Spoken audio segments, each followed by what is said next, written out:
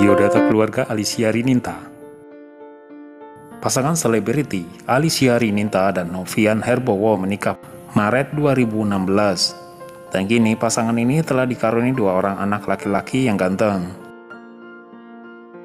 Berikut biodata dari keluarga Alicia Rininta. Nama suami, nama asli Novian Herbowo. Kelahiran, Novian Herbowo merahasiakan kelahirannya. Novian Herbowo diketahui menganut agama Islam. Nama pasangan Alicia Rininta menikah 2016. Pekerjaan, pengusaha dan anggota DPR.